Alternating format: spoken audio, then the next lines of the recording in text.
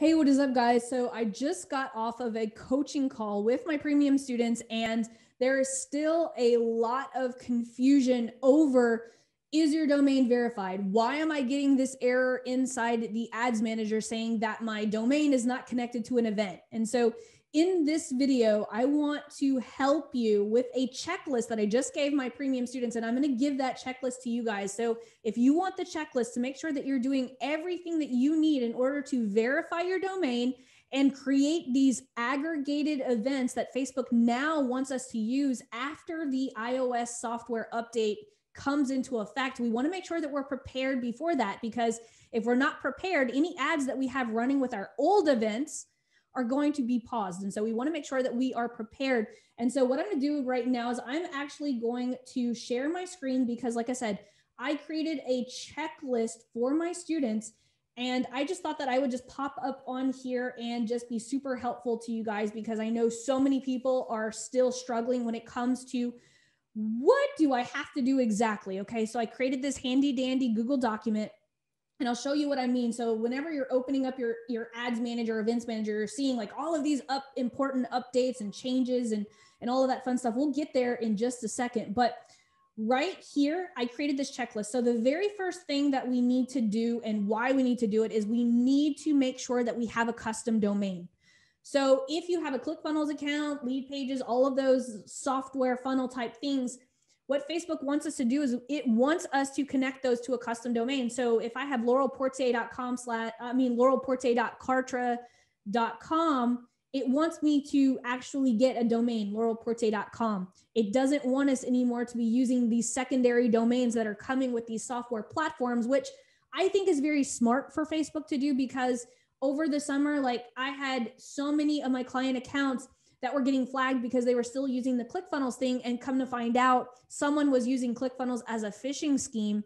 And so somehow the ClickFunnels domain got flagged in the Facebook system. And so everyone who was using like ClickFunnels domain started getting their ad accounts like shut down and ads turned off. And it was a big hoopla thing. So I think that this is a really good move for Facebook to move in this direction. So the number one thing on the checklist is to actually get your domain verified. Okay.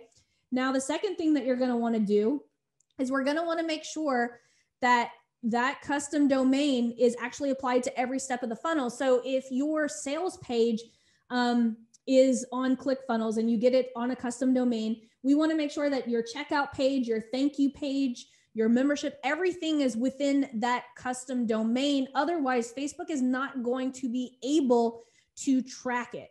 Okay.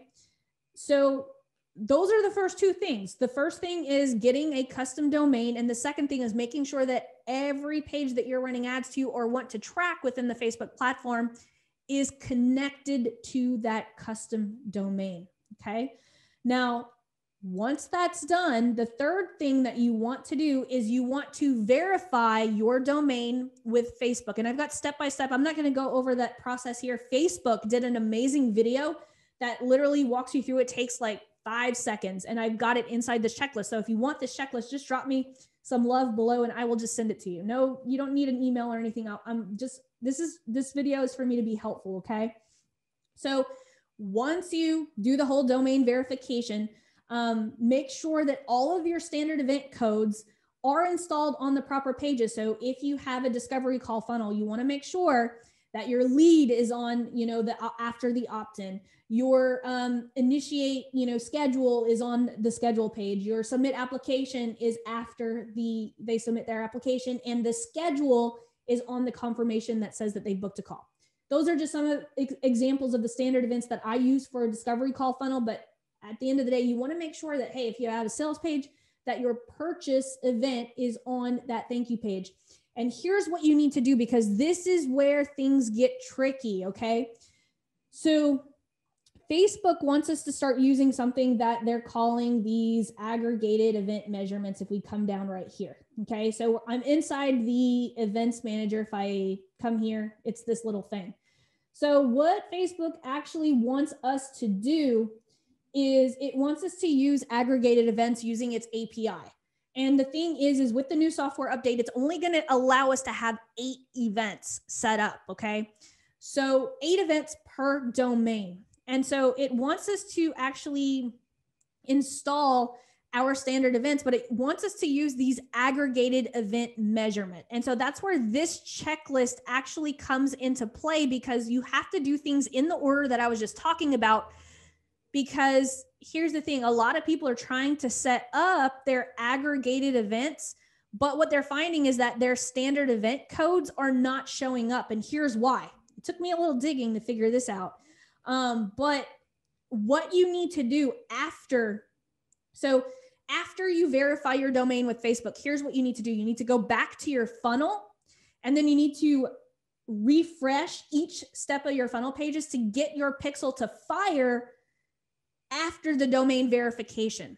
Then, whenever we go back here into this checklist right here, when we go back into the events manager and we go to configure our web events, then you're going to want to select the domain that you verified. And then I'm going to go to edit events. And then what it's going to show you is it wants you to select your eight events according to the standard events. Now, one thing that you might notice is, oh my gosh, you might not have any standard events showing up right here. Like, where are my where are my standard events? Remember, I told you in the step before this what we need to do is we need to make sure that we have fired either that custom conversion or that standard event after the verification process. Now, this may take 40 up to 48 hours for your events to show up here. Okay. Another thing that you need to take note is you see right here how I have highest priority we're going to have to set events that are going to be of highest priority. So I'll give you an example. So let's say that I have a lead magnet that goes into a purchase. Facebook wants us to set the priority because it's only going to track one of those events inside the ads manager. And so we always want to put which conversion event is the highest priority for Facebook to track. In my case, it's the purchase. I don't have a lead magnet, but if you have a lead magnet, you might want your highest priority to be set up for the lead. Okay. So that's how some of this stuff is going to work. And like I said, there's a lot more to it. And I put everything inside this handy dandy checklist, and I'll be happy to give this to you. Um, hopefully, it'll make your life easier. I know my students are telling me that it's making their lives easier already. And that's my whole point of doing these videos is to make your life easier. So if you guys have any questions at all, drop them in the drop me a line below. If you want this checklist, just drop me a line below and I'll have my assistant deliver it straight to your Facebook Messenger. And I hope that you guys have an amazing day and I hope that this stuff is not driving you too crazy.